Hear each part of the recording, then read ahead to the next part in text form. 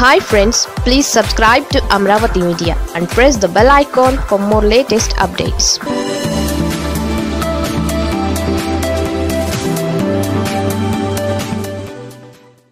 ఆనంకు Jagan mark check. నిదర్శనం ఇదిగో. మాజీ మంత్రి ఆనం రామనారాయణ రెడ్డి విషయంలో అందరికీ క్లారిటీ వస్తున్నట్లే ఉంది. నెల్లూరు జిల్లాలోని ఆత్మకూరు అసెంబ్లీ ఉప ఎన్నిక జరుగుతున్న విషయం అందరికీ తెలిసిందే. ఈ నెల ఇరవై మూడవ తేదీన పోలింగ్ జరగబోతోంది.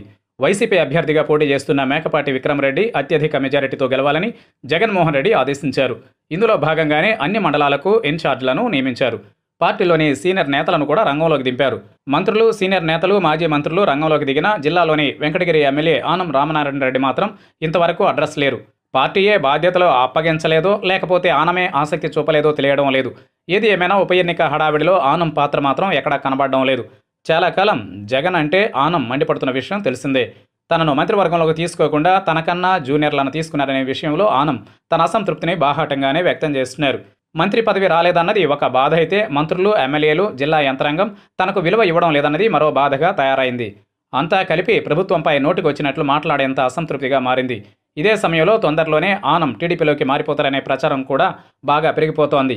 నిజానికి అసలు ఆనంను వైసీపీలోకి తీసుకోవడమే ఎక్కువ. అలాంటిది పోనీలే అని పార్టీలో చేర్చుకుని ఎమ్మెల్యే టికెట్ ఇచ్చిన తరువాత ఇంకా అసంతృప్తిగా ఉన్నారంటే ఎవరూ చేయగలిగిందేమీ లేదు. తాను వైసీపీలో చేరిన సందర్భం ఏంటి? టీడీపీల నుండి ఎందుకు బయటకు వచ్చేస్తారనే విషయాన్ని ఆనం మర్చిపోయారు. రావడం రావడమే మంత్రి పదవి ఆశించడం దక్కకపోవడంతో అసంతృప్తి వ్యక్తం చేయడం కాంగ్రెస్లో సాధ్యమైందేమో కానీ జగన్ ముందు సాగదు. ఈ విషయం తెలుసుకోకుండా అసంతృప్తిని అదని ఇదని గోల చేసుకుంటే నష్టపోయేది తానే కానీ వైసీపీ మాత్రం కాదన్న విషయాన్ని ఆనం రామనారాయణ రెడ్డి మర్చిపోవడమే విచిత్రం.